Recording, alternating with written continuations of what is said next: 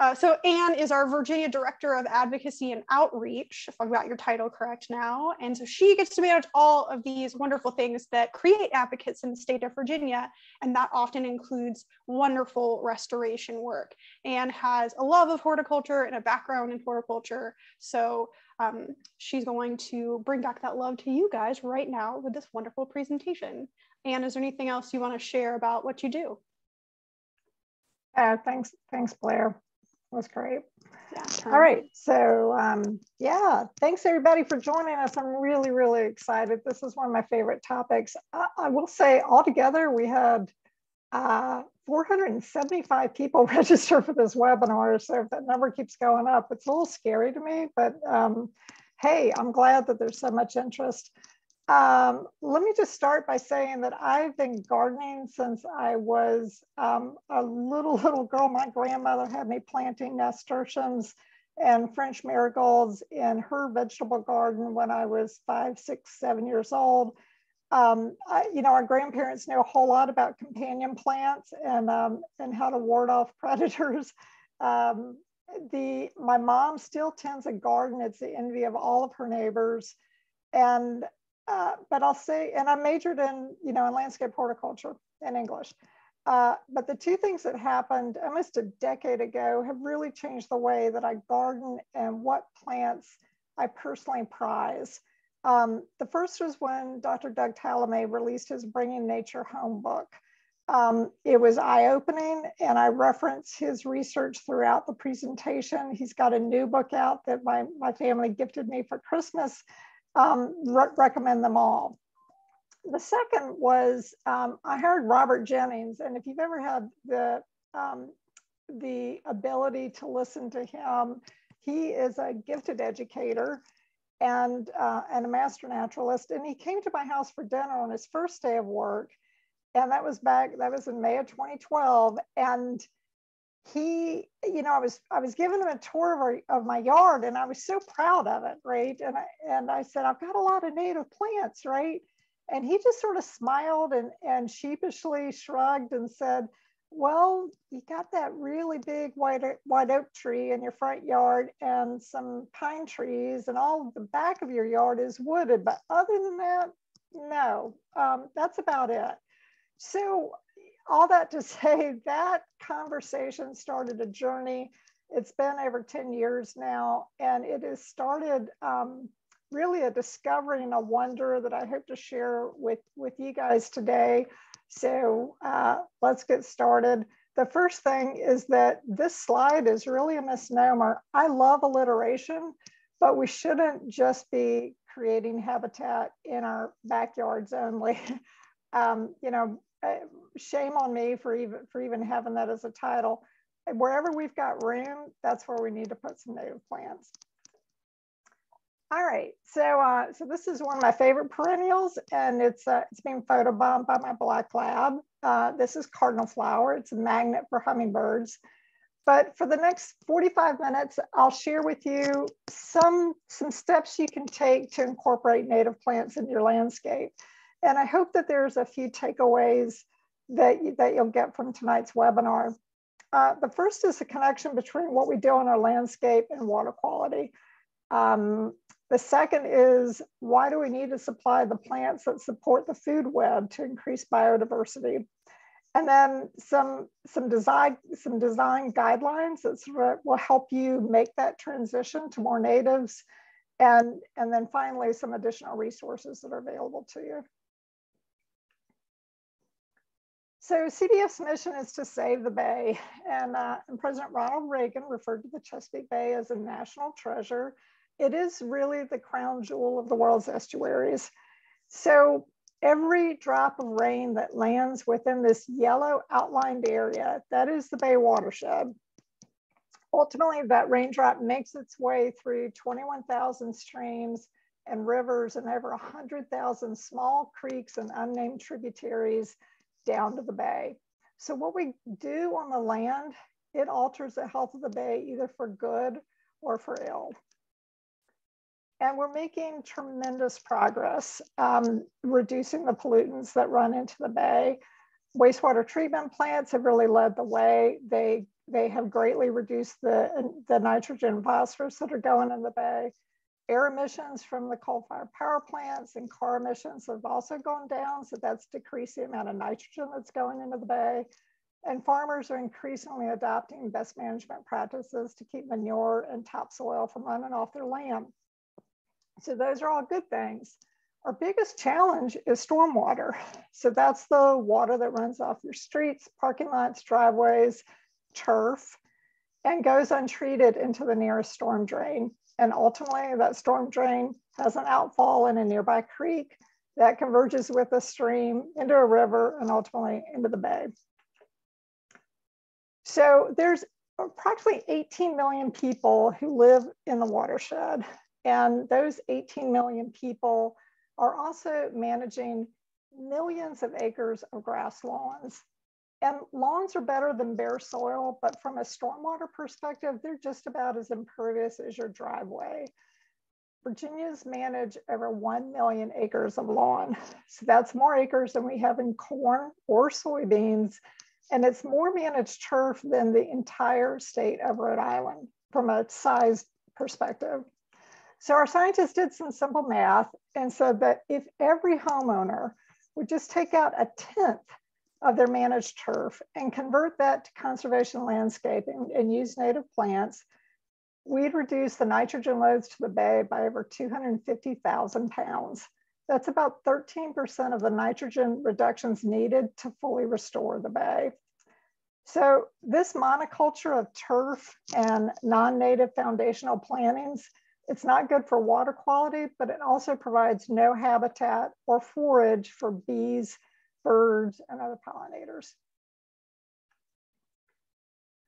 So another reason why native plants are better for water quality, they've got deep roots.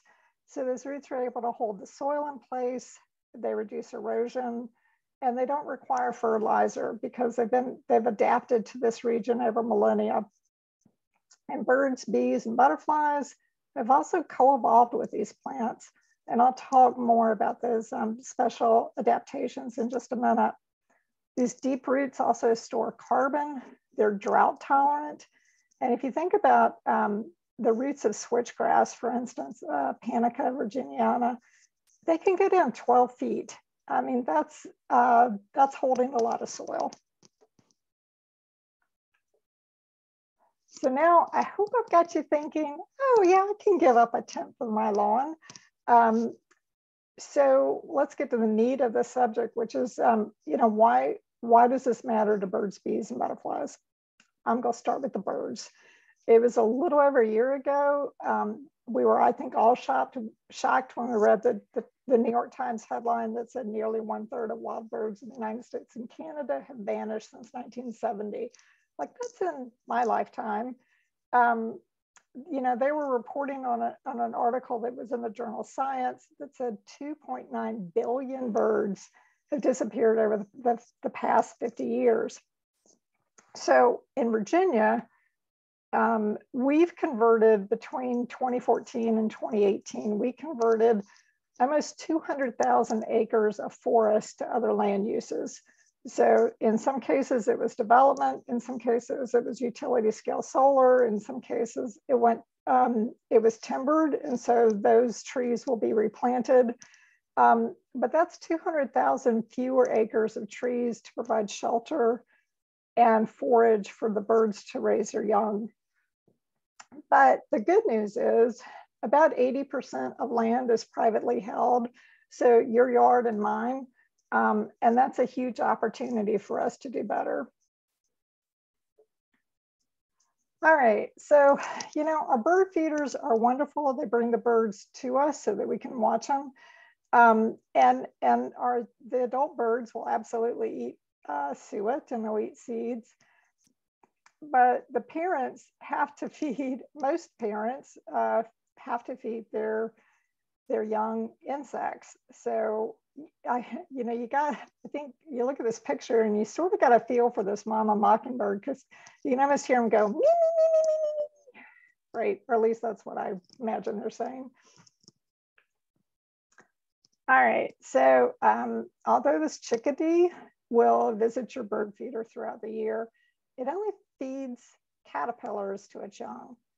And Doug Tallamy had a one of his one of his uh, grad students literally watch how many um, caterpillars the chickadee brought back to its to its clutch and, and found out that it takes between 6,000 and 9,000 caterpillars to rear a single clutch. That is a lot of little worms. Um, they also forage no more than 50 meters from the nest. So that means your yard and your neighbor's yard, that's their food supply. And you might be um, wondering, well, why caterpillars instead of, um, you know, in, instead of other insects like uh, grasshoppers, for instance. And I'm going to borrow this example from Doug Tallamy again because it's so perfect. He said they're like little sausages, lots of fat, lots of protein, and there's no exoskeleton like you, you have in a grasshopper a beetle. So it's a lot easier to regurgitate. So now the question you're, I hope you're asking is, how do we landscape to have more caterpillars? And the answer is trees. Um, and, and, I'll, and so which trees? And, and I'll just say, who knew that caterpillars are picky eaters? But absolutely they are. Um, again, according to Doug Tallamy's research, that white oak that, um, that Robert noticed in my yard a decade ago, it supports, it's, it and other oak trees are the larval host for over 500 butterfly and moth species. So larva, caterpillar, um, and I'll just say my mother, you know, she sort of wonders, well, why, what have I got against crepe myrtles? And, um, and the answer is they don't support any Lepidoptera. There's, there's really nothing that eats them. All right, so, you know, some some are very picky eaters. Um, so on the bottom left is the is a spicebush swallowtail. They only feed on the family Lauraceae. So that includes the red bay, the sweet bay, sassafras, spicebush, all of which are native to Virginia. And then the eastern tiger swallowtail, that's the one on the right, it's gathering nectar from a sunflower, the Helianthus family. Its larval host plants include the tulip tree, the wild black cherry, and a sweet bay magnolia. And then the zebra tail butterfly, the larval host plants are the Asimina species, which are pawpaws, right? And through most of its range, the uh, Asimina are the, it, that's, the, that's its only host tree.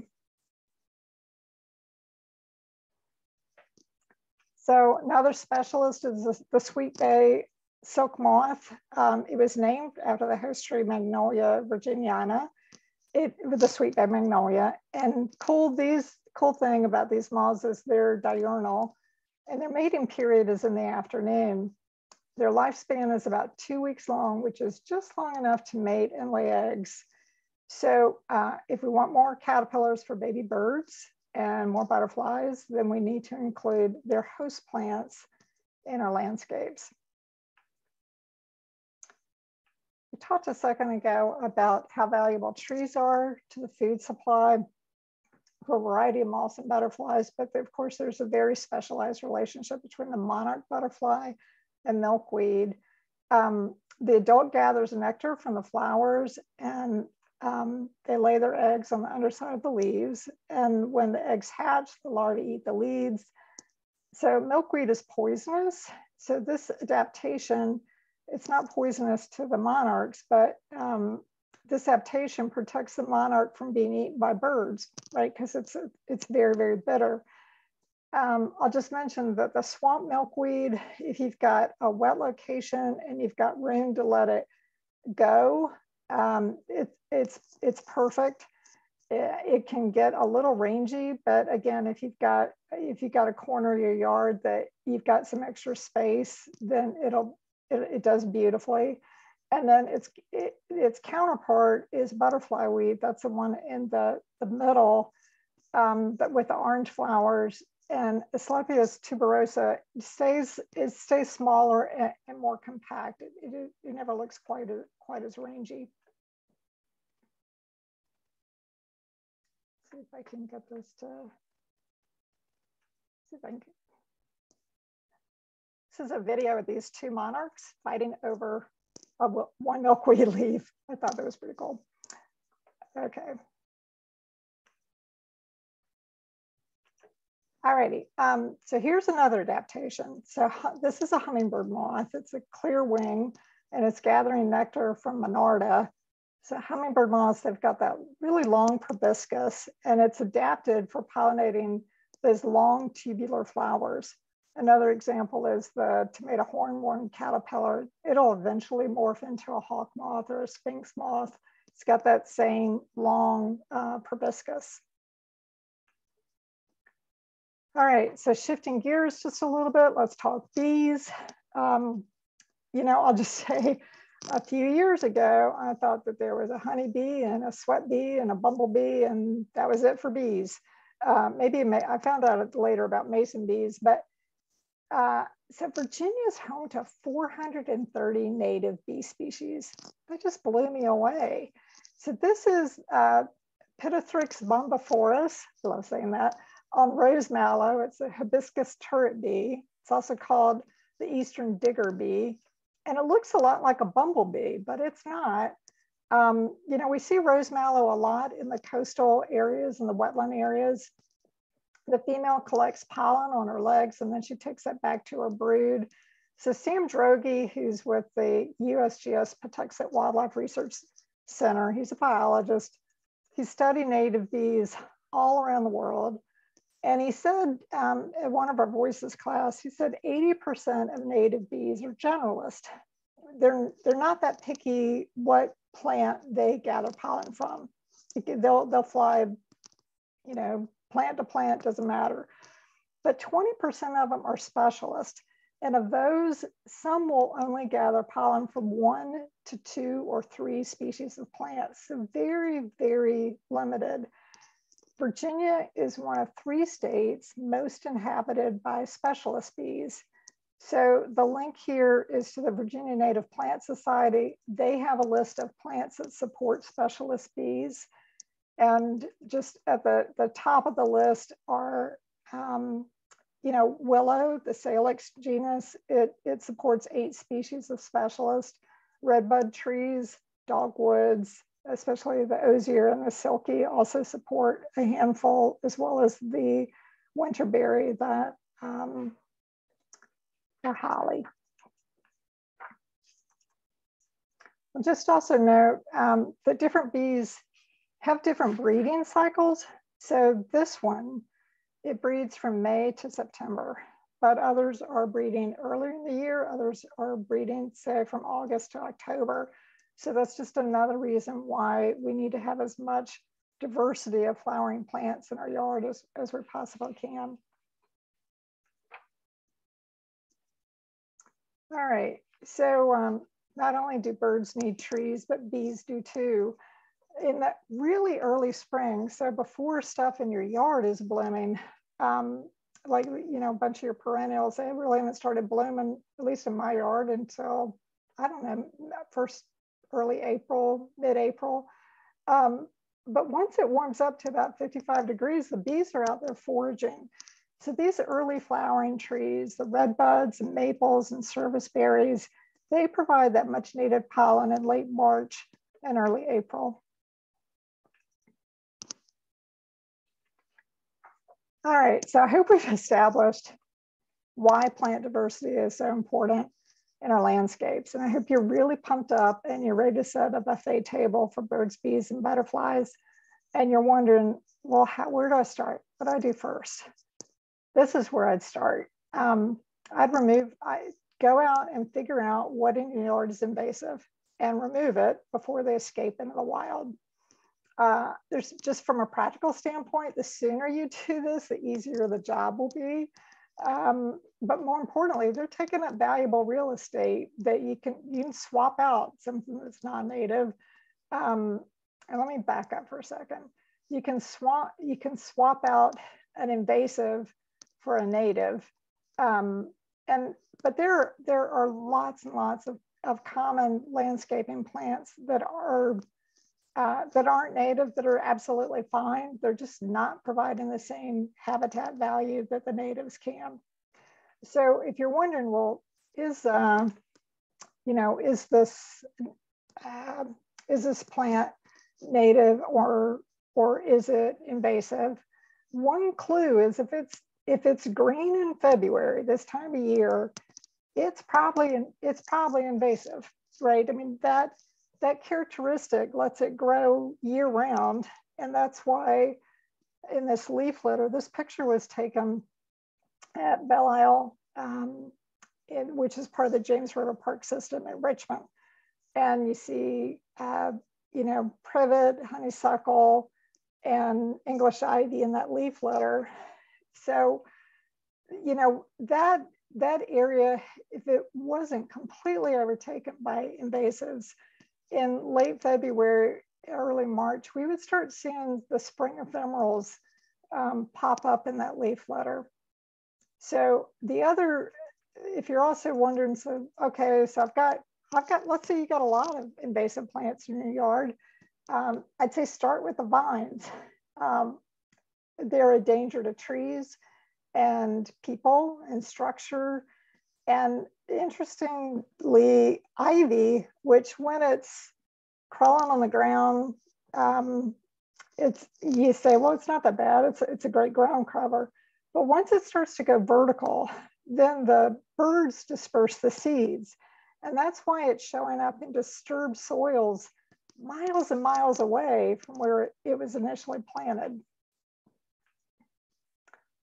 So uh, BlueRidgePrism.org is a great nonprofit. They offer individual plant sheets, excuse me, fact sheets about the most common invasive species, uh, when it was introduced, as well as treatment options. But the Virginia Department of Forestry is also a great resource. They've got um, on their webpage, uh, this, this is a, just a screenshot. They, they indicate the best time of year to treat and whether you've got to do mechanical or chemical treatment. So, um, you know, two, two excellent resources for invasive control. All right. Um, so invasive species are, are common, but they're also commercially available. So I would just encourage you to ask for and purchase natives at the nursery eventually the nurseries will stop carrying invasives. So common yardscape, excuse me, common landscape plants that are spreading outside of your yard and, and into disturbed soils elsewhere, there are lots of great alternatives. So um, seen here on the left, its berries are toxic to birds. Um, again, it's getting outside of where it was initially planted. Autumn olive on the right it was initially planted by, uh, I think, Department of Wildlife as a way to um, to stop erosion, uh, particularly along uh, roadways. But it has it has also spread like crazy, and of course, barberry, Callery pear, you know, Bradford pears. It's really interesting. Those when those trees were originally introduced, they were sterile and so everybody thought, well, it's okay. It's a pretty tree. It's, you know, got this nice columnar form. It's okay to introduce it. Well, um, you know, Mother Nature's smarter than we are, and it absolutely uh, broke that sterility in one of its uh, mutations. So that's why on the edge of woodlands, we see uh, Bradford, Bradford pears taking over the edge of woodlands. Um, another plant that we're just starting to see on the edge of woods everywhere is a winged burning bush. Um, a lot of gardeners love this plant because it's got a burst of crimson color, the Euonymus alatus, but it's also popping up along wooded areas. Along, if you're driving north on Highway 17, for instance, if you're going through Fauquier County, you will, you know, you'll see it on the right-hand side of the road just um, for two to three miles. And I'm just going, this wasn't planted here. it, it, it doesn't, um, it doesn't belong there. And then the genus Miscanthus is another that uh, is commonly available in, um, you know, in nurseries. There's about 20 different species. but this, this grass species, again, um, is spreading outside of where it's initially planted. All right, so uh, does this picture look like a toilet on wheels to you? uh, all right, so now, now you know why I'm not a professional landscape designer because uh, even with CAD software, I can't, I don't draw a whole lot better pictures. Um, but now let's say you've removed invasive species and you're wondering, well, where, where are you going to put those con the conservation garden or that your conservation landscaping? So I'll, I'll start with the obvious, which is where grass doesn't thrive, right? Sometimes you're in your yard, it's too shady, it's too wet, it's too dry. Maybe you've got um, a hillside, it's too dangerous to mow. These are great places to, to consider um, you know, putting in conservation landscaping. And just a reminder to a previous slide that native plants have deeper roots. They are really good about holding the hillside in place once you get them established. But the what might be helpful is to just create a, a, sketch of your property. So that's what that picture on the left is supposed to be, uh, my toilet on wheels. It's um, it, so uh, towards the top is my driveway, then there's my house in the back, there's a patio. So, you know, I've got this, this sort of weird triangular shaped lot, but it's really easy to just Google your property, switch over to satellite view. If you right click, you'll bring up a, a, a menu that'll let you measure the distance as well as the area. And that'll just give you a sense of, okay, how much do I actually have in turf, right? Um, so uh, I'll just say from a scale perspective, a, a, half inch equals 10 feet. That usually fits pretty well on an eight and a half by 11 piece of, um, of graph paper. So for a quarter acre lot, it's, um, you know, it'll, it'll do great.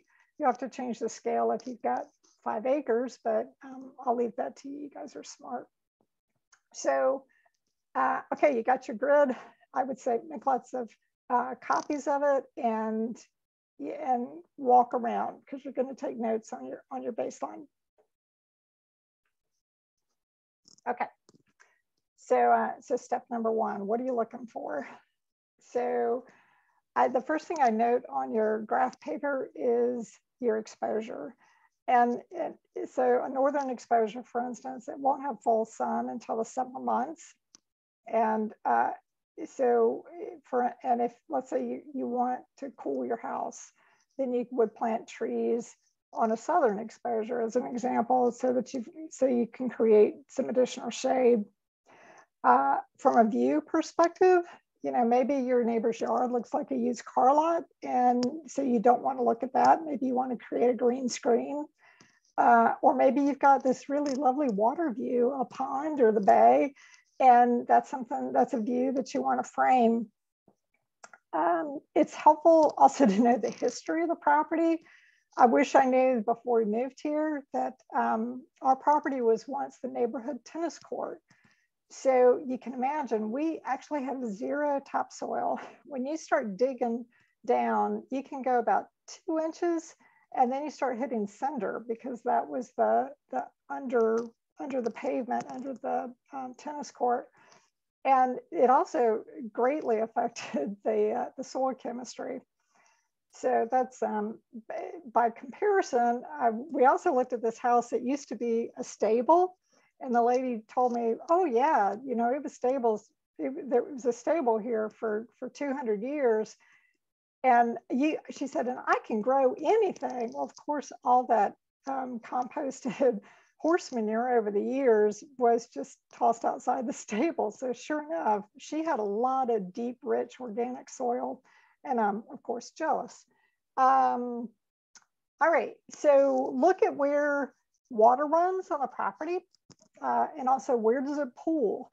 Um, look at uh, which areas of the yard are sunny, what's in full shade, know where your utilities run. Of course, you're before you dig, you're always going to call um, 1888 Miss Utility.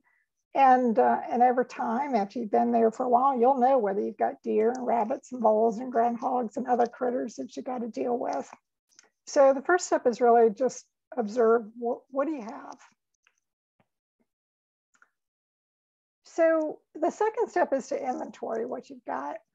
Um, so, uh, you know, natural communities are, that's, if you were to go into a wilderness area and you observe what's growing there and you see which plants grow with one another, um, the plants that grow at a site typically that's closely related to the abiotic factors such as the bedrock type, the soil chemistry, the slope, the elevation. And you would want to go to the nearest, as close as you can have undisturbed. And so wilderness is, I don't think we have any true wilderness um, or very little left in Virginia. Um, but you want to mimic those natural communities as best as you're able to to ensure that what you put in your yard is going to thrive. Um, DCR has got a list of natural communities. Um, and so it's, a, it's an excellent reference. And then uh, the second thing is Marie Kondo, you know, she talks about, uh, you know, giving away what you don't love. And so I would say we all need to Marie Kondo our gardens. Um, if it does, let it go if it doesn't bring you joy. So on this picture, uh, it's just funny. It's this plant to me is one of the most joyful ever, this woodland phlox. I, say that deer and rabbit love it. So it can't live in my front yard because um, I get pretty much deer browse in the front, but the back is fenced. So um, I've put it in the back and I've got some sedum around it and the rabbits don't eat the sedum. So they pretty much have left this woodland phlox alone. So, so um, when you're when you're done walking around with your uh, with your sketch, you want to know how many species of non-native plants do you have? How many species of natives do you have? And and of your non-natives, which ones do you just really not care for? Right? They're just not doing it for you anymore. Okay, so you know what you've got. And so here are some ideas to help you transition. So some ways to plant with pollinators in mind. So I want to encourage you to think in two dimensions, both the time of year that something blooms, as well as the vertical layer that it fits in. Um, and then, when I say vertical, I mean both above and below ground because interestingly, you know, in a really small area, you can have a lot of plant material because the, the roots don't necessarily all go in the same place, right? Some go uh, deep and narrow and some go wide. So it's often, um, you can often get more plant material per square foot and still meet all the nutrient needs of the plants that you're putting in there. So you want bloom throughout the seasons. You want to think about every layer. And you also want large drifts. Um, that's, that's for efficient foraging. Uh, I'll, I'll, say, you know, we'll, we're asked to come out and consult sometimes on, on different people's gardens and they'll have, you know, one, one plant um, or, and, and then they'll have another one and then they'll have another one. And so it just sort of looks like the uh, hopscotch of plants and and that's that's absolutely fine if you're trying to test out something and see if it's going to work in your yard before you make a big uh, financial commitment to that plant. Uh, but if you've got room and your site matches its needs and try to plant three to five um, try to stick with odd numbers. And uh, and just remember that you you really want a lot of diversity. Um, so in this example, I, I just want to show you, so we've got spiderwort here in the in the spring, and there's uh, chives to the left of the spiderwort, but tucked underneath that spiderwort, I don't know if you can see my mouse or not, but tucked underneath that spiderwort are, um, are both asters and, um, and daisies that when that spiderwort starts to, um, you know, to, to look crumpled and, and start to dry up later in the summer. Other stuff takes over where, where that is, and it'll still be there next spring. So just advance the slide. so this is looking from the other direction. Um, but this is, you know, the rudbeckia is there in the fall. And, um, and I don't know if you can see in the far, in the far end over here. So now the pea is blooming over here. That's what's up at the top of that slide. Um, and then when this rudbeckia is done, then I've got um, asters and goldenrod that, that take that take over in the fall. Again, all all pretty much in the same space. So uh, a lot of people say, I'm not sure I've got room. Uh, you, you may have more room than you think. Uh, if you've got a shed or an arbor or a fence that you want to add some color to, you can add the coral honeysuckle or trumpet creeper to attract um, hummingbirds. So this coral honeysuckle, it's a host of 33 spring caterpillars. So that includes the spring blue azure butterfly, as well as clearwing moths and its fruits attract birds. And then, of course, there's the native clematis, uh, Clematis virginiana or, or, or, virgin's bower. It's really lovely. It's got these really gorgeous, delicate white flowers. On the left-hand side of the slide is, is passion flower or maypop. Um, you know, it, it that when it stops, well, I guess in the in the right behind the letters over there, you can see that uh, the green fruit that's in the background. So that's edible, um, but it makes a loud pop when it when it's crushed, which is how it gets its common name. All right, um, so let's go down to the ground. Uh, I personally, I'm in love with ferns. There are dozens of species of ferns that are native to Virginia, and they've got a surprisingly wide tolerance for soil types and sunshade requirements. A lot of people say, oh no, it's got to be moist for them. It's got to be, um, you know, they, they have to be in deep shade. And there, that's not true. I mean, there's a, there is absolutely a, a mix of ferns out there. Um, this, the picture that's on the, the bottom right, the wild geranium, that blooms in uh, in April and May, and then and then it's gone. And and I say it's gone, meaning the plant's still there, but you can just barely barely see it. And this is underneath of um, uh, a button bush. And so you know when the button bush starts blooming, it would shade this plant out anyway. But the button bush doesn't fill out its leaves until after this has gotten all the sun it needs to produce the flowers and reproduce. So um, took this took these pictures in, in a neighbor's yard. So these are May apples and, and Solomon seal. And, and also you can see a few, um, uh, it's not daisies, uh, violets. I think that's violets in the, in the middle of the picture as ground covers.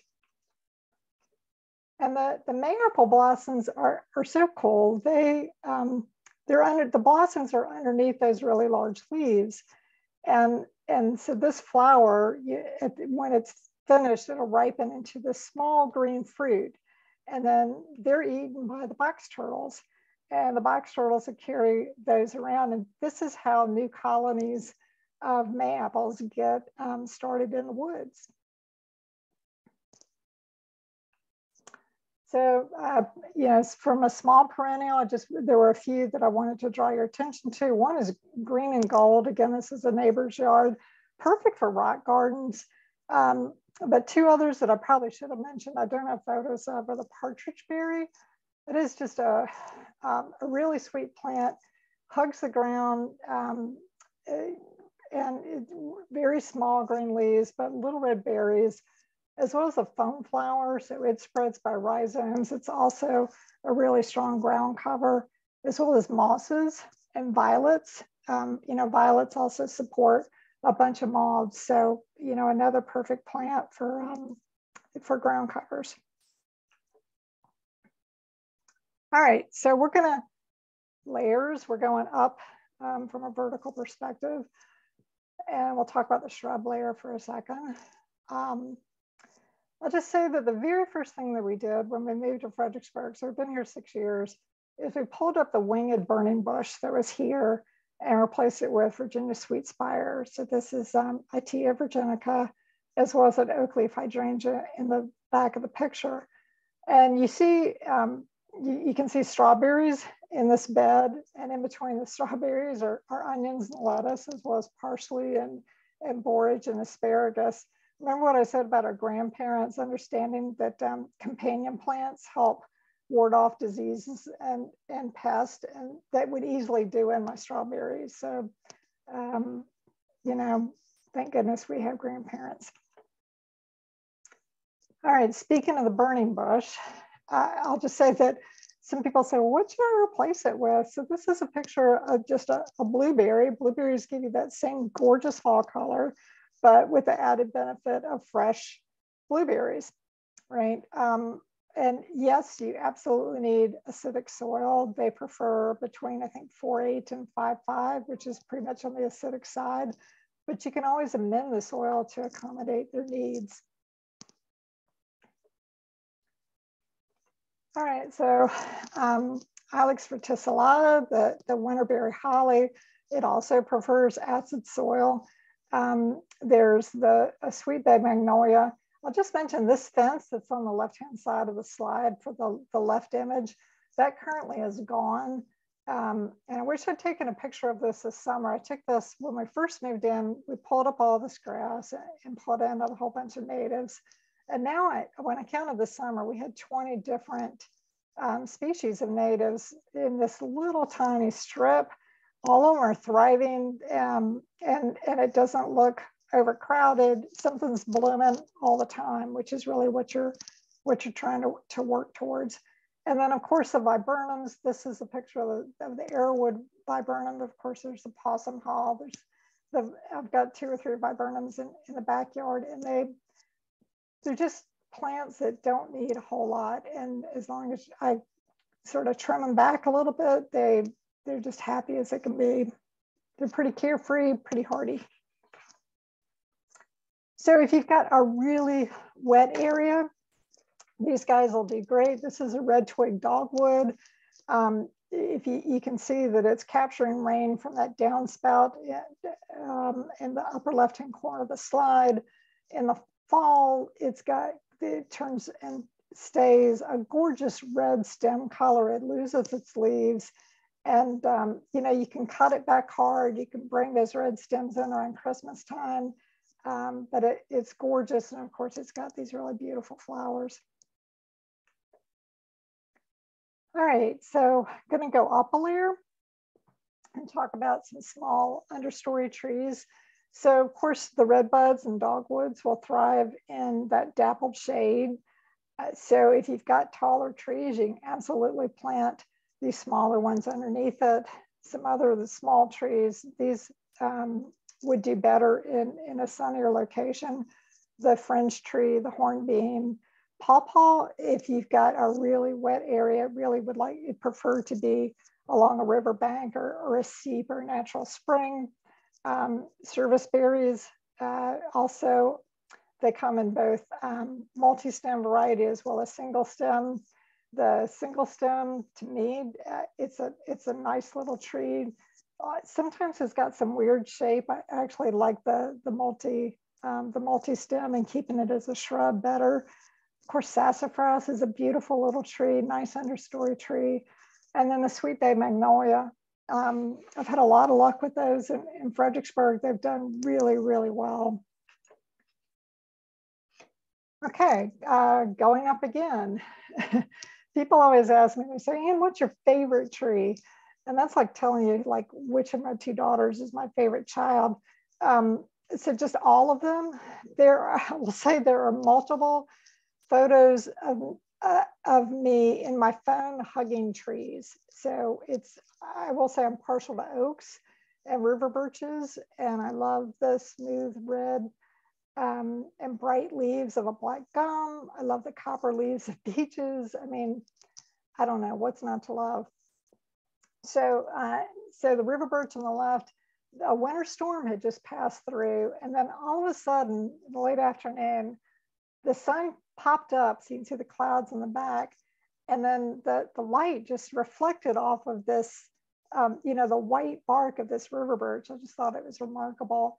And then that, that elm on the right-hand side. So that's one of the, um, I'll say the last of the giant American elms. It's that's on the campus of Penn State, and of course they they've treated all of all of their elms. And just a just a reminder about uh, about natural communities and, and planting what's in your region and think about the value that it brings to wildlife. So oaks, cherries, etc. All right, so this is just a quick list going back to something I mentioned a few slides ago about the number of, um, so this is the common name, the genus, and then the number of Lepidoptera that's supported by, by each of those genuses. Again, those oak trees supporting over 500 different species, um, followed by wild black cherry, willow, birch, poplar, crabapple, um, the list gets smaller as you go down, but the native trees are supporting a tremendous amount of, of, um, of caterpillars.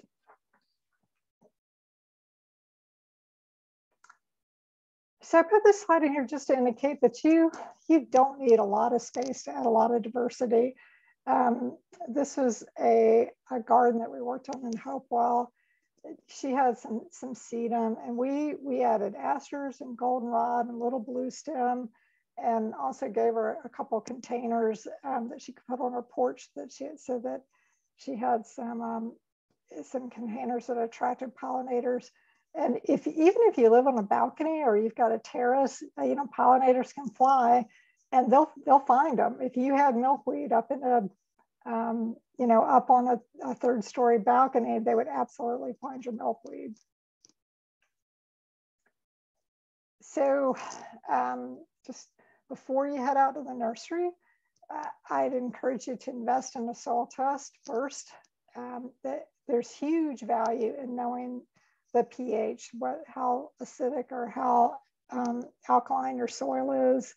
So if the if the pH is too low, so things like azaleas and hollies and camellias might be happy, but we've talked about the importance of trees and most of the trees are not gonna like that, that lower pH. So we wanna make sure that the nutrients are available. You may have to add some lime before you start planting your trees. And it's also worth it to pay that extra $4 to know the amount of organic material in your soil. Um, that's something that, that as soon as you know it, you'll go, ooh, I, you know, maybe I should leave that leaf litter um, and, and let it decompose naturally on my soil. Okay, so I, I know we've got one person from Del Delaware, one person from New Jersey, and uh, maybe a dozen people from Maryland. So I'm sorry for you guys, but for those of you who live in Virginia, these little books will change your life. Um, so they're on the plantvirginianatives.org website. They are free for you to download. You can order um, a printed copy and have it shipped to you. But you know, the plants that do really well in Virginia Beach and Norfolk aren't necessarily going to do well um, up in Harrisonburg or in the Shenandoah Valley, or or you know, they, they may not be able to tolerate the cooler temps or the higher elevations of what we got in the Western region. And these books do a great job of illustrating the regional differences of which plants grow best where. So another, another helpful website is the Native Plant Nurseries. Um, so, I mean, the Virginia Native Plants Society website, they have a list of all the nurseries. Um, they also list spring plant sales, seed swaps. They have an annual workshop, or they used to have a great one before COVID. Now I think it's it's a hybrid workshop, um, but it's a tremendous it's a tremendous resource. And then um, there is in Virginia, the soil and water conservation districts have a program called VCAP, um, the Virginia Conservation Assistance Program.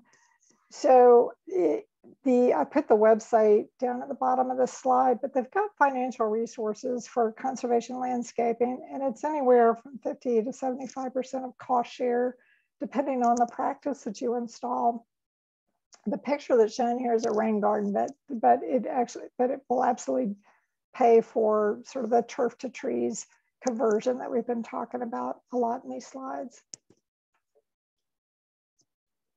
So um, you know, maybe maybe you're all in and you want to completely overhaul your landscape and you don't know where to start.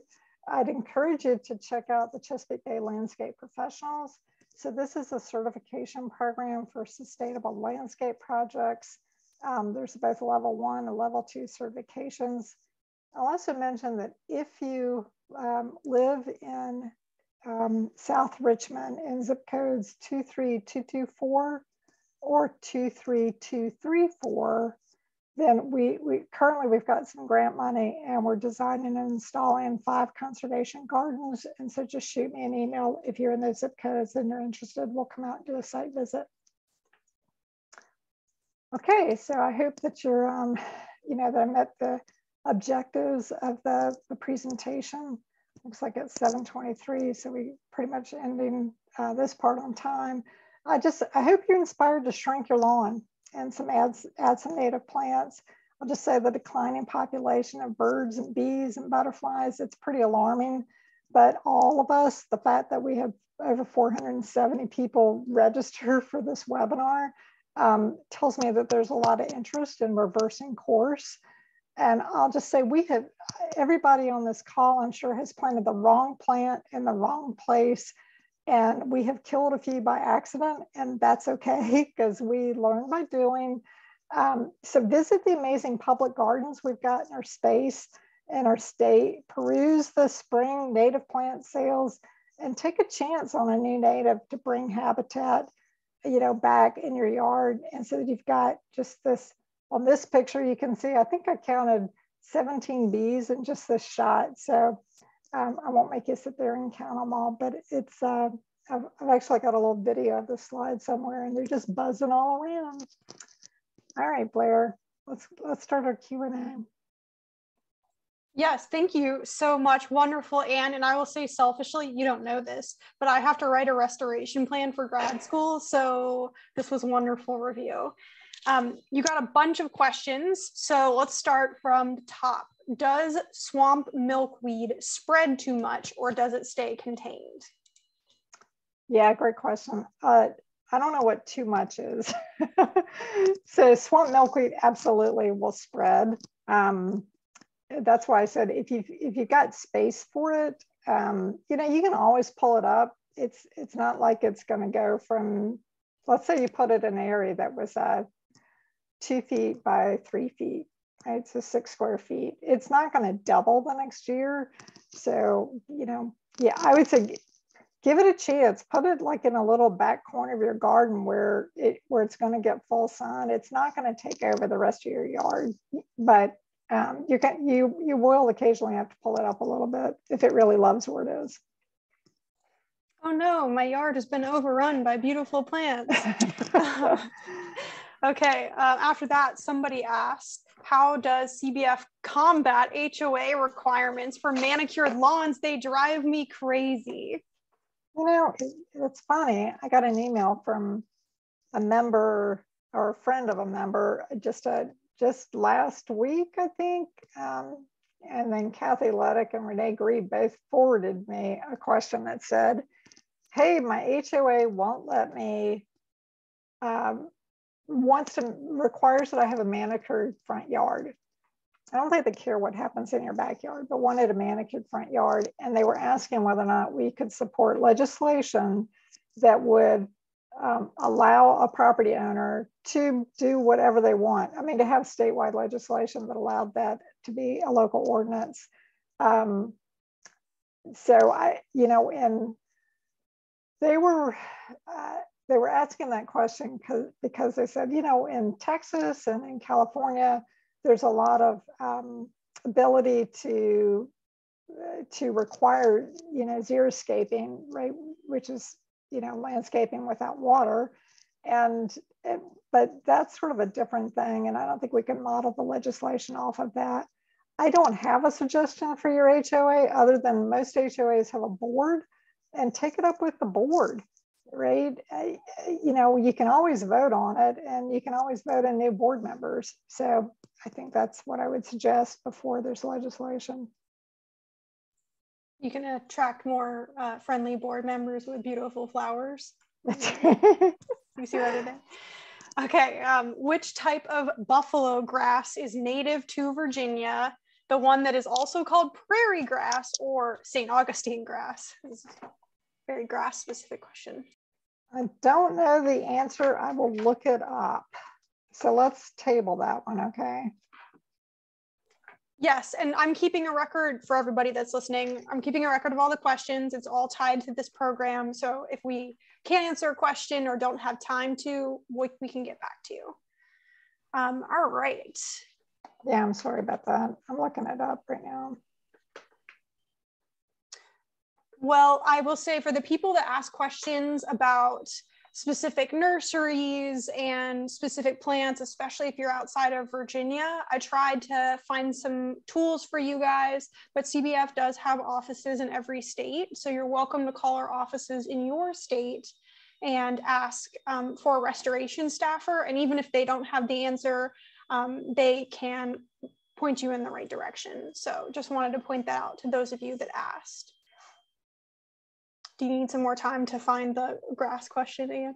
No, it's funny because I'm looking at a page of all the native grasses in Virginia and I'm not seeing buffalo grass. So I'm going to have to get back to you and I'm sorry about that. Uh, this is uh, another specific question that I also missed. So uh, why were caterpillars better than insects like grasshoppers? Oh, because, yeah. So, yeah, it's because uh, the mother bird regurgitates, right? And you can imagine trying to um, to chomp down and regurgitate a beetle or a grasshopper that's got chitin, which is that exoskeleton. It's really hard. And you can imagine that would sort of get stuck in your throat if you're trying to regurgitate and feed your baby bird. So those uh, caterpillars are soft and squishy and they're easier for them to regurgitate back to the, the baby birds. Wonderful. You've received several questions about pests. So um, are there any ways you can use native plants to uh, control rabbits, moles, voles, or any plants they don't like? Uh, um, there is a, somebody told me once upon a time, if you plant eupatorium around your, around your favorite plants, that that will help keep the voles away from them. I will say I was not successful. Um, the best thing that I found for uh, to keep voles away was a red tail hawk and um, and black snakes, right? So, uh, right, I because you know, I guess I'm all about the the um, sort of the natural balance of things. Uh, I'm also really not great about deer um, in terms of giving you. Uh, there is a whole list in those native plant guides about deer resistant plants so that's another pest. I, I have in my front yard, sometimes I've put um, the netting over top of it. It's, it's green netting, you really can't see it, but it does sort of limit the amount of damage the deer can do. There are also spray, you know, applications that of everything from, you know, a pepper mix to, you know, deer off. And the only bad thing about those is you have to reapply them after it's rained two to three times. And, and I'm just too lazy to do that. So I usually just put something over top of the stuff that I really, really want um, to keep from being browsed. If it wasn't challenging, would it be worth it? I, I don't know. So let's see this is a great question. This is, but this, if I had to pick a favorite question, this might be it. Um, I have a very high water table, about 12 inches from the surface mm. in my front and backyard. Will I have difficulty growing native plants?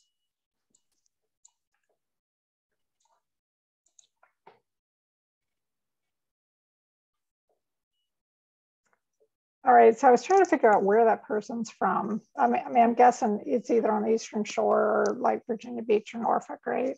Um, so a couple things to think about. Will you have difficulty growing native plants?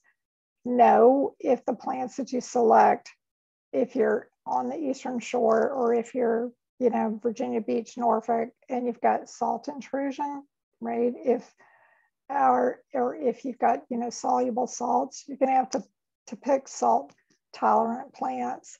Um, the native plant booklets that um, that I, I pictured a few slides back. There is one for Hampton Roads, and there there are specific salt tolerant plants listed there.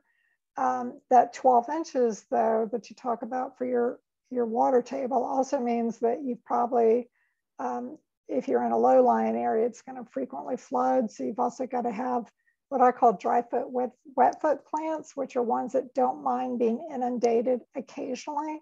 And there are some that, um, you know, will do just fine. Uh, so the way to sort of figure that out would be like if you're buying plants from Sandy's Plants, for instance, which is one of my favorite retail nurseries, you got to go there just to drive the golf carts around in the garden.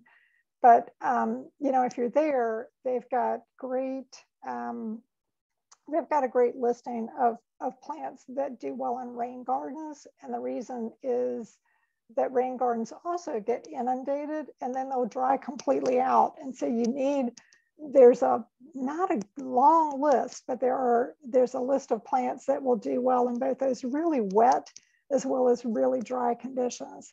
And that's what I would that's what I would try to, to reach for for those um, high water table areas. And just while you're on the subject, I know not everyone's in Virginia, but there were many questions about where do I find these plants? Uh, do you want to briefly touch on some of the nurseries that you're familiar with? Um, you know, again, I'm going to, um, I'd refer back to the native plant. Maybe I should go back to that slide, but the native um, plant Virginia website, Virginia Native Plant Society website, because they've got a list of native, excuse me, a list of nurseries on their website, and they do a really good job of keeping it up to date. And because most of the work that I do is in Central Virginia, I tend to use the nurseries that I know have great plant material in Central Virginia. Um, you know, I get, I'll say we get a lot of the stuff that we plant from from Sandy's because you know she's got such a great variety. But I don't want to shortchange other nurseries because you know Charlottesville's got a bunch of great native plant nurseries, and Northern Virginia does too. So I would just encourage you to check out the Virginia Native Plant Society website for that. Yes, and I'll pop that link into the chat as well so you guys can take a look uh, in one second. So uh, next question, got so many good questions. Ooh, this is a good one too. When you do get rid of invasives, can they be composted and how should you properly dispose of them? Um, I, you know what? I don't compost my weeds. That's a great question. Um, some people have said, oh, don't worry about it. The seed, you know, the temperature of the compost will get high enough that it will kill the weed seeds.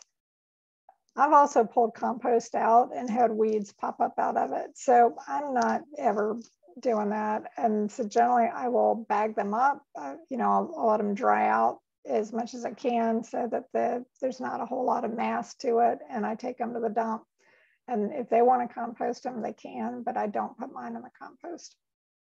I will chip it, you know, like if it's a, a heaven bush or mimosa bush, um, you know, that's not going to come back. So yeah, you could you could wood chip that and it's not a big deal and just put that in the rest of your wooded area. But I probably wouldn't try to compost something that has any seed heads on it. Wonderful to that point, um, I really want to know how you're going to answer this one. Should Nandinas be removed from our landscape? And there were two question marks, so I could feel the stress coming through for this person. I know. I know. Um, yeah. Look, I know they've got really beautiful berries, and I got a lot of um, not pushback, but I guess a lot of concern.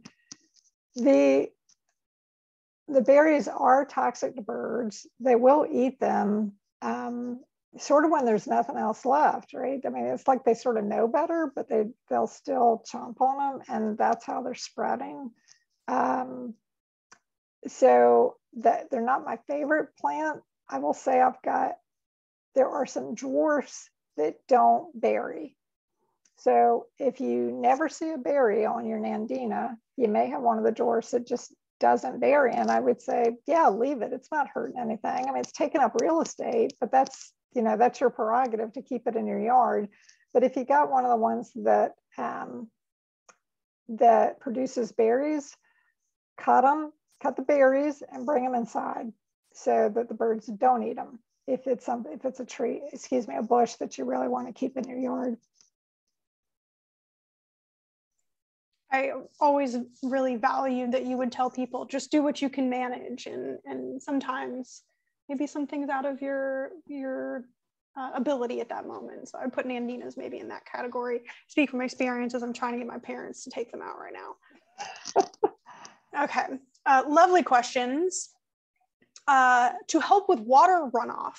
Ooh, this might not even be a plant question exactly. What are the best options for driveways instead of paved driveways? Mm. Um, permeable driveways, right? I mean, so the, you know, the, the, the other one of the other practices that VCAP, the Virginia Conservation Assistance Program, will pay for is the removal of your asphalt is one um, thing that they will pay for, but then a second sort of project is putting in permeable pavers. So those pavers have got an underlayer uh, or a reservoir, if you will, of gravel underneath the pavers and will hold um, the water that is, you know, collected what used to be running off of your driveway will now sort of slowly seep back into the soil as long as you've got, you know, some infiltration. You're not trying to put it over top of, you know, red clay that doesn't infiltrate at all. So I, I think I would say um, either permeable pavers or permeable asphalt are both good replacements for just you know your standard asphalt driveway. I, before before we move on, let me just add that you know crushed gravel eventually gets to be just as just as imper just as impermeable. It won't let water through um, as you know as asphalt. So that's really not a great um, you know a, a great solution either.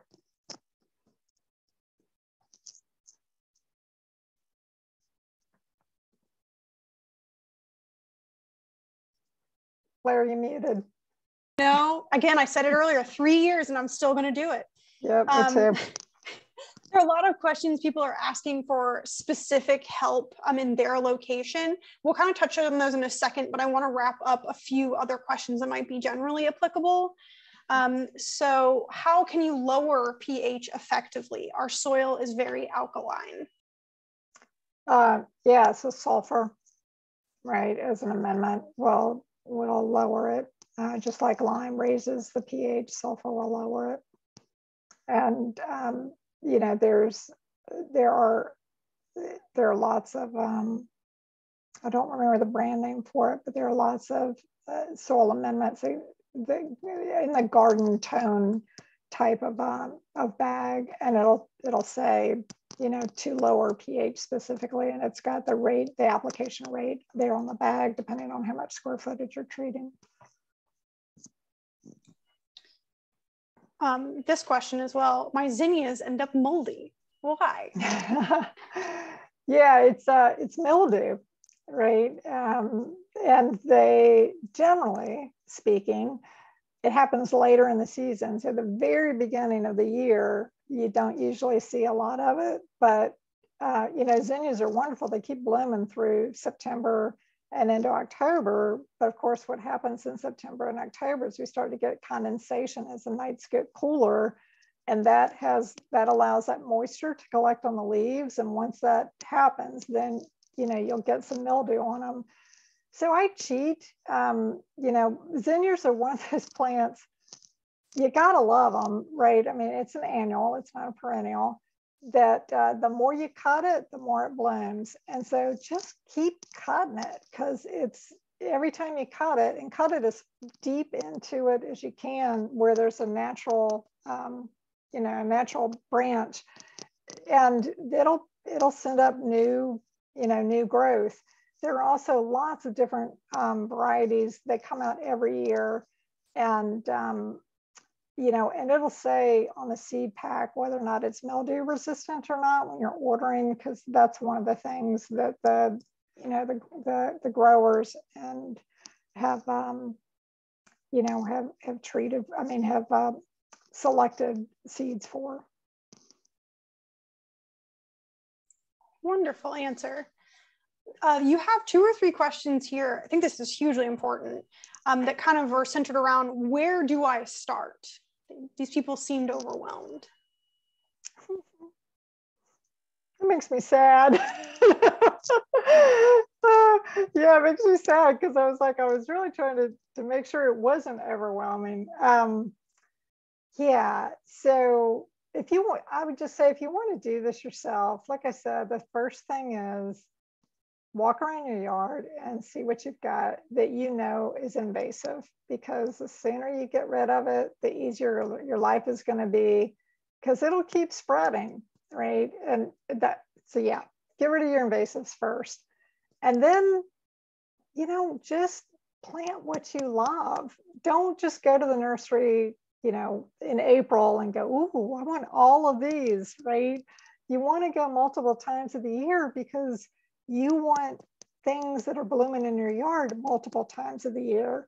And sometimes we get, um, like we all make that trip early in the spring and we're like, oh, look at that. I've never seen that plant before. And we bring it back and we're really excited. We put it in the ground and, and that's great. Our, our, our, our gardens transition over time, right? They're, they're, they're never going to look the same one year to the next. And there's stuff that I put in the yard. I was like, why did I ever plant that? I hate that plant. Um, but just uh, do what you can and don't worry about perfection because even one plant, right, just one native is better than no natives. So we said, get rid of invasives. The second thing I'd say, plant a tree, right? It, it, what, uh, what is that proverb? The best day to plant a tree was 20 years ago. The second best day is today. The sooner you get some native trees in your yard, the happier um, all the birds and bees and butterflies are going to be. We have a couple of questions that are kind of tied to that. Um, let me see, I wanted to focus on a different one, but this one caught my eye first. Um, once you begin planting natives, how soon should you expect more wildlife to come around?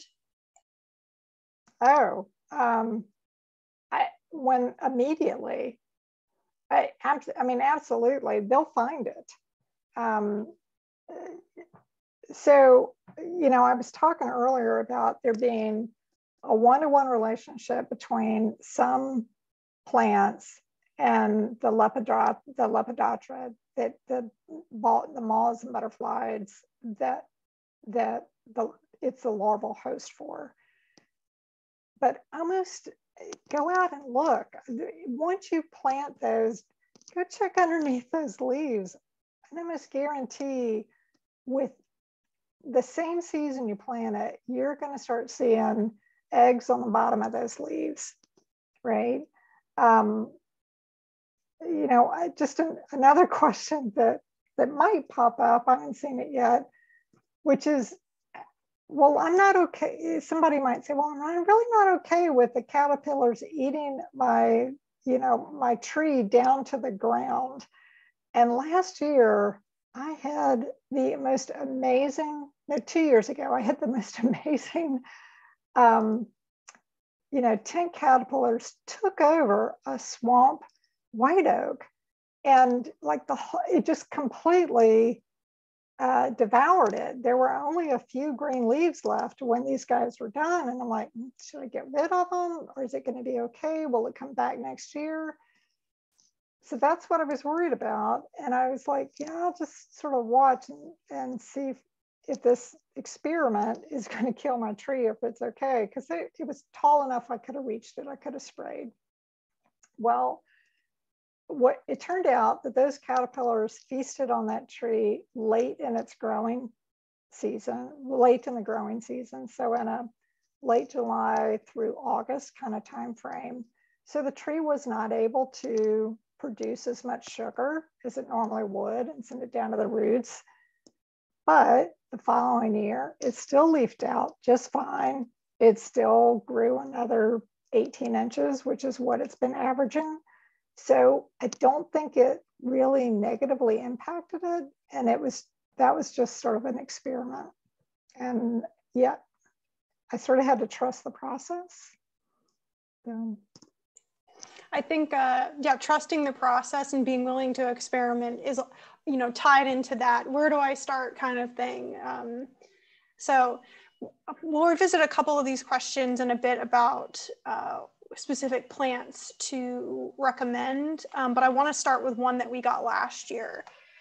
Uh, what native plants would you recommend for a noise barrier? And specifically, this person lived in Charlottesville. Mm.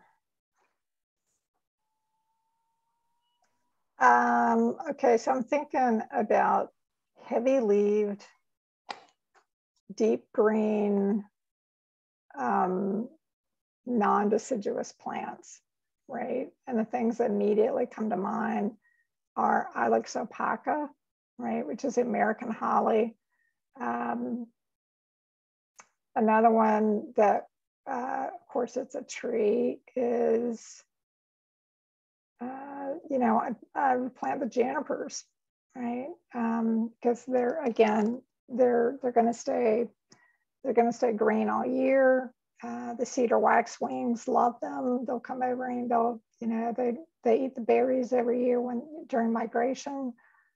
So I'm just trying to think, it, it, you know, because noise you're trying to you're trying to keep, you want that year round. So I, I picked something that was probably broadleafed and, um, you know, and didn't was not deciduous.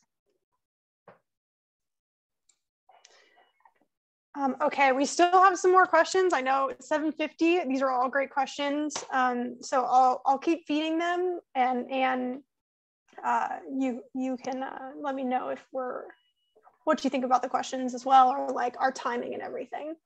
Um, so do popular spray deer repellents also affect pollinators? Hmm. Well, I don't know the answer um, because I think it varies. I, in other words, you can read on them. You can read on the on the spray. It'll it'll say insect. You know, it'll say pet safe and human safe, but some of them will say insect safe, and I think that's really what you're what you're looking for. Um, you know, don't use anything that's a nicotinoid and you know as deer spray i don't think you'd want to do that because that's not great for pollinators but other than that i I think you got to read the label because there's so many different ones and they're all, yeah, and they're formulated differently. Absolutely. This is a great one as well. Uh, they're all great questions. Uh, what qualities or questions should I ask of a landscaper to get started? Um, yeah, so let me just back up a slide. Can. There we go. Um, yeah, so uh, this this program, the CBLP program, I you know I, I've been through both the level one and the level two certification classes. I'll just say that people who have gone through this class, they know about natural communities, they know about native plants, they understand ecosystems. So I so that there's a list on this website of every landscaper who is open for business who you know has gone has received the certification. Other than that you know it's really up to your personal aesthetic. So what i'd ask is could i please see your portfolio? Because there's some people that do stuff with um, you know with grasses and yet and and uh, you know large trees and and that's like that's their aesthetic. And you may say well, you know that's not really for me. I so i would just i'd ask to see their their portfolio and i'd ask for references right? Make sure that people like the work that they've done. Wonderful. So last few questions. Uh, is escalade a dangerous lawn chemical i don't know I my I'm gonna have to look it up. I don't even yeah, I don't see that question. So okay. I will go back to your read the the bottle, but I would also add extension can be a really great tool as well. Um, are, are butterfly bushes native plants and would you recommend them? No, they're not native and no, I don't recommend them. So, I knew the I mean, answer that, to that one. yeah, I mean that that one was easy. And so here, so okay, back to that funny story about Robert Jennings coming to my yard, right? and I was, yeah, I, I thought butterfly bushes were native. And he goes, mm, no. So then he sends me like a whole long list of all the different things that I could plant instead. And he really got me hooked on Joe Pye weed, which is gorgeous, right? And just um, really beautiful. And it comes in a lot of different sizes and now a lot of different colors. And and I would absolutely plant Joe Pye weed every day. and uh, and no, the re okay. So back to the once you have plant one butterfly bush, you will always have a butterfly bush. So yank it out of there eventually because it'll pop up everywhere in your yard as long as it's flowering. Uh, we have a question about honeybees, and I need to read this verbatim because it's hilarious. Uh, recently, I read that honeybees are great for agriculture, but are bullies in our yards. what plants are great for native bees that will not leave them with honeybee PTSD? uh, yeah, too bad we can't give prizes for best questions because that, that one's excellent. Okay. Uh, yeah. Um, okay. I'll start, start with about 70% of our bees are ground, of our native bees are ground nesters. So they need, um, so a, they're not going to compete with the honeybees is my point. And they, um, yeah, what, I, this, okay, so I think I need to phone a friend for this one and say that the Xerces Society has got sort of, again, that list is sort of, as well as, um, uh, I put it up on the, I put it up on the slide. There's a list on the Virginia Native Plants website of the specialist bees. There are, you know, certain bees will only forage on certain plants. And um, and it's like I know that honeybees love clover, for instance. And maybe what you do is you plant some sacrifice clover, and that you know that your um, the honeybees are going to just zoom over to, and then you've got some other specialist plants that are just sort of have that one-to-one relationship with um, you know with bees that are non-honeybees, which are European, by the way. The honeybees are. Okay, last three questions. Do you okay. have any student friendly resources? Oh, Blair, you got to take that one. um, I, I, was typing frantically an answer and I was like, this is this is a long answer. um, so someone was asking about planting at schools. I work for CBF's education department. Um, and honestly, I think the same places we've been referring to you earlier would be a great place to start, like the master gardeners and the master naturalists, because those folks are volunteers and they frequently have the time and the skills to come in and help with students. Um, if you are looking for yeah, if you're looking to design something or like a, a, school program, I would reach out to our education department. So specifically, uh, Karen Mullen and Aaron O'Neill would be the people that could help you work through that process. So I can put their contact information in the chat for you, um, but that's a whole other beast, educating students while trying to maintain a garden. Um, I can see Ann is answering a question about cantaloupes having orange skins. Are they edible? Second to last question. Uh, yes, they're just perhaps overly ripe. Wonderful. And second to last, where is a great place to order seeds, kind of with the, mm-hmm. the nurseries? Oh, Lord. Um, so I, I, think I've got every seed catalog um, my husband keeps threatening to build me a whole different library for just seed catalogs. Um, so territorial seed is a good one. Um, oh Lord, pine tree is another one. It's got a good selection of both um, native plant seeds as well as, um, well, of course, as well as vegetable plants. Uh, Give me one more second. I'll think of the third one that looks go ahead.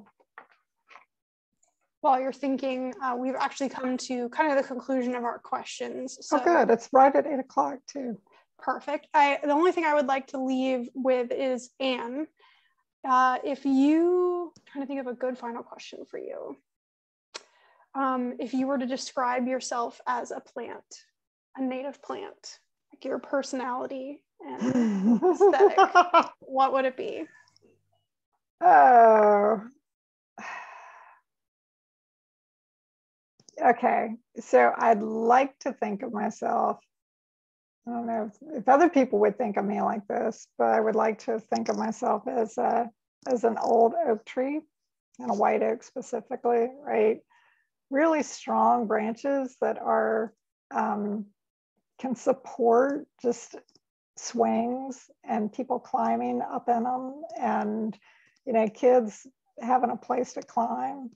So that's sort of me. I'm sort of the i'm sort of the support structure i guess. How yes. about you blair oh gosh that's that's challenging. Um, you think about that for one second. I just yes. want to say so linda said libraries in our area have seed share in them that are set up by the master gardeners which i love that. Um, yeah seed swaps are, are excellent and and the master master gardeners as well as the, the individual chapters of native plant societies as well as a master naturalist all usually have um, either seed swaps or they've got um, you know plant sales as part of the way that they fund their chapters. Okay blair your turn native plants. Which one describes you? Last question. Oh, dang, I was coming up with one for you. So I would have said for you, Pinkster azalea, because they're like near the water and like they're bright and mm-hmm. lovely and bring you joy. And obviously, all native plants have the deeper roots uh, supporting the soil and you know creating that wonderful mm. environment for everything around them. So that's funny. Um, you think of me as a flowering plant no, you're not a flashy, showy person, but it's it's more about the water. Like I know you uh-huh. you're into swimming and everything like that. So um, maybe we just leave you guys with that: is find that plant that you just feel in your soul as you, and put that in your yard, and that can be your start. So I think, yeah, we've reached 759. Excellent. This is the conclusion of our presentation. For those of you that asked for the presentation and the PowerPoint, um, that will be sent to you after the program. All right, guys. Thanks so much. Take care. Bye-bye.